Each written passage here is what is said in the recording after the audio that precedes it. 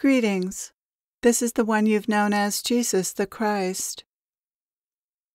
I'd like to speak about the difference between spiritual self inquiry and self analysis. Both are important tools in the seeker's toolbox, but very different ones and serve different purposes, and it's best to understand this. The biggest difference between spiritual self inquiry and self analysis is the self that's being inquired into or analyzed.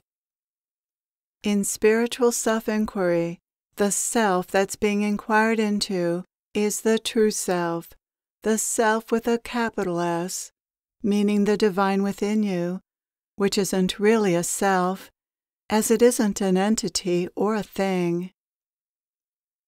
In self analysis, the self that's being analyzed is the false self, which also isn't an entity or a thing, because it's imaginary.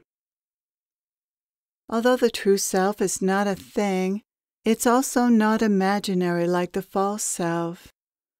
The false self is called false because it's imaginary. It doesn't exist. The true self, on the other hand, while it isn't a thing that can be sensed with the five senses, it isn't imaginary but what makes it possible for you to experience life. Without the true self, you wouldn't be alive or experience what you do. The true self is the life force and consciousness that animates the body mind, and not just your body mind, but every life form.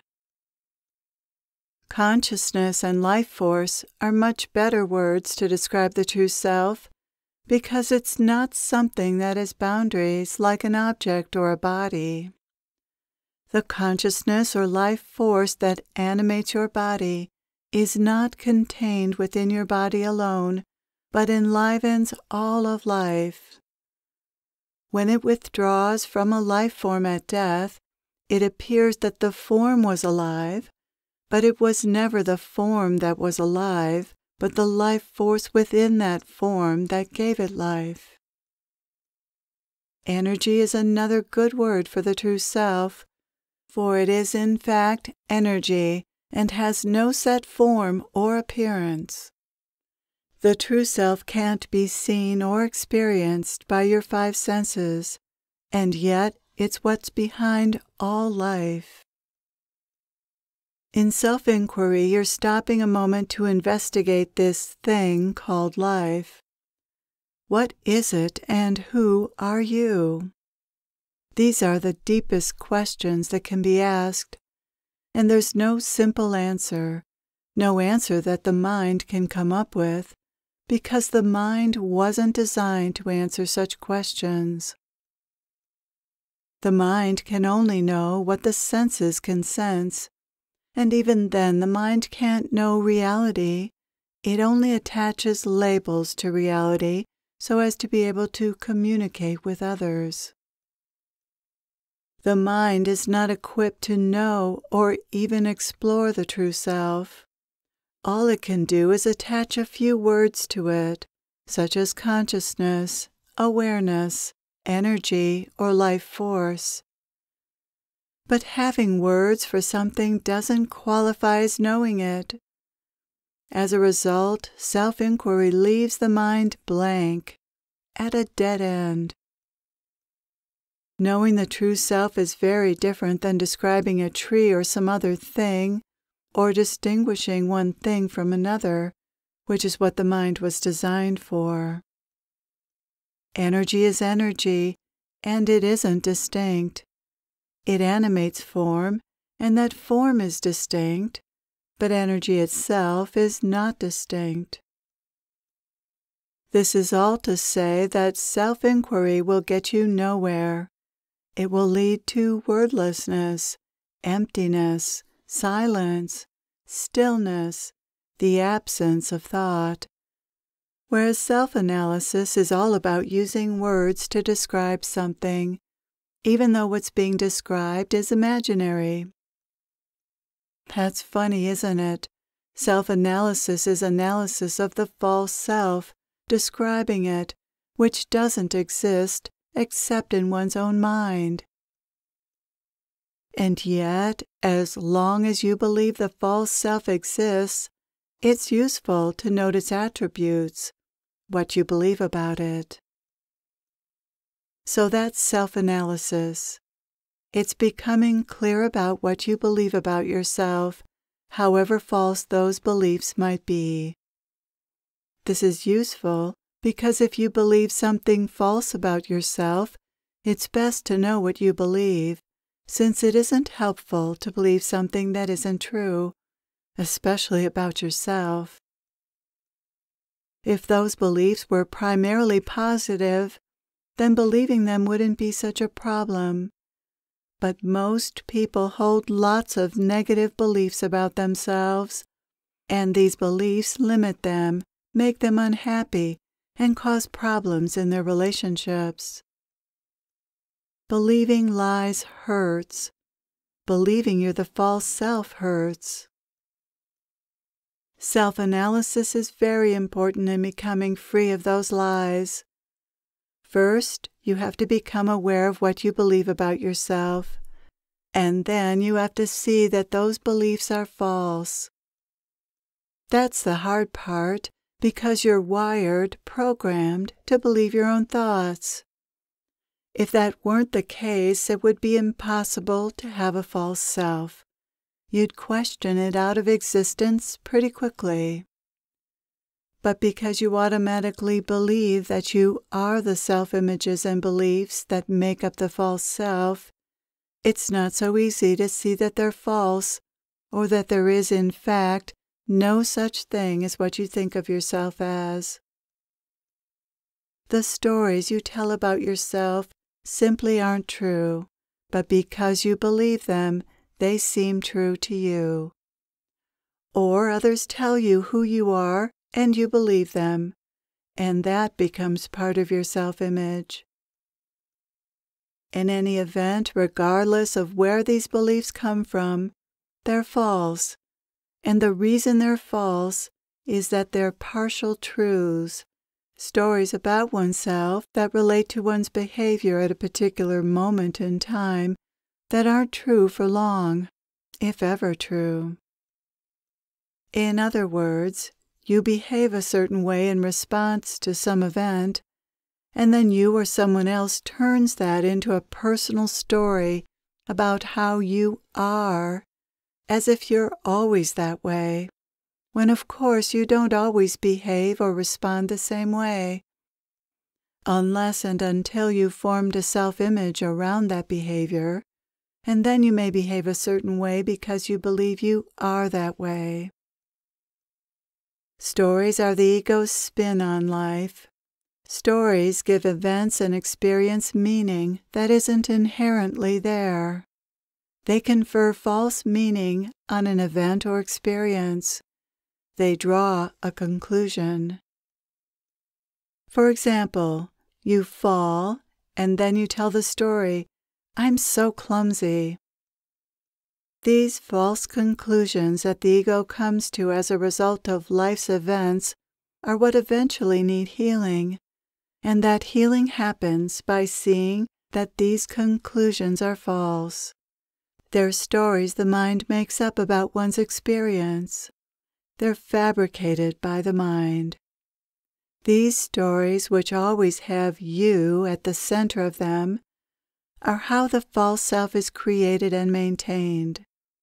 These stories are about a you that doesn't exist but seems to. In any moment, there are many possible ways you might respond, not just one way.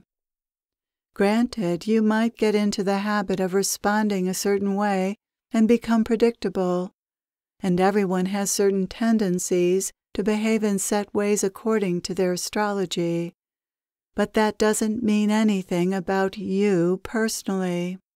It's just how you chose to behave in that moment, or how someone perceived your behavior in that moment and labeled you. I'm bad, I'm dumb, I'm impatient, I'm irresponsible, and so on, are stories told about a you based on some behavior at some point in time. But this you doesn't actually exist. All the you ever is is a story about you. That's the false self. It's made up of stories. But as I said, it's helpful to see the stories you tell about yourself and believe, because if you tell them often enough, they become true, since the subconscious mind tends to produce more thoughts and feelings that support such self images and that drive behavior in that same direction.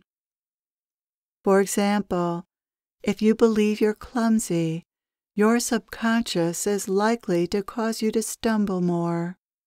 Or if you feel incompetent, you'll lack the confidence to act competently. Your subconscious will cause you to fail.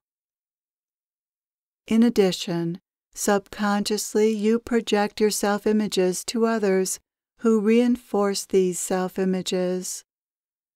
Without realizing it, you tell people who you are, who you believe you are, and then they begin to see you this way too.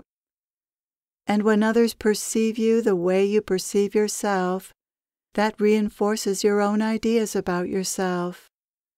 A self sustaining feedback loop is created and your self images are maintained. This is not easy to see about yourselves. As I said, much of this is going on on subconscious levels. The subconscious is the storehouse of thoughts and feelings, and when certain thoughts and feelings have been thought and felt repeatedly, they become patterns, and patterns become self images or identities. That's all the false self is.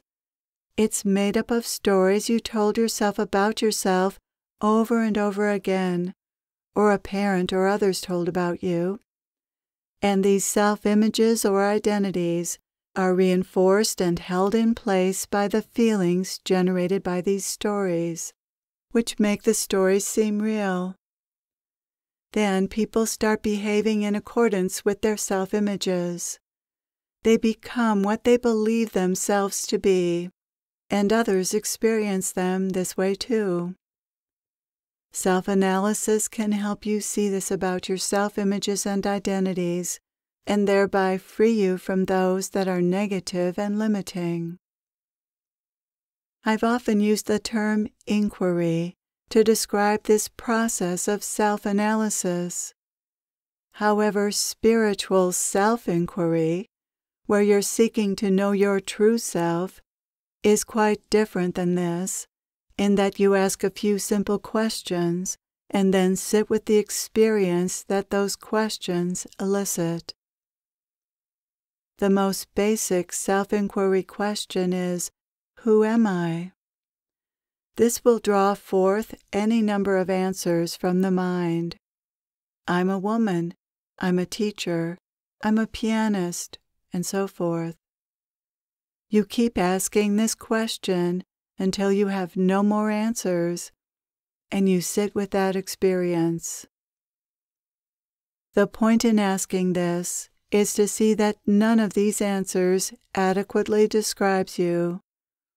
These identities and roles are more like a costume you wear. But what's wearing this costume? What's animating the costume? Who are you beyond these identities, labels, and roles? Who is this I that seems to think? And what is aware of this I? With spiritual inquiry, the point isn't to find answers as you did in self analysis, but to experience the absence of answers. Within that silence is the answer. You are that silence. You are what's able to observe your thoughts, ask the questions, and experience all of life. These two types of inquiry, inquiring into the false self and spiritual self inquiry with a capital S go hand in hand. Both are necessary on the spiritual path. You must see through the false self, and you must experience what else is here, your true self. You need both types of inquiry to see through the programming and discover your true nature. Thank you for being willing to consider these ideas. I am with you always.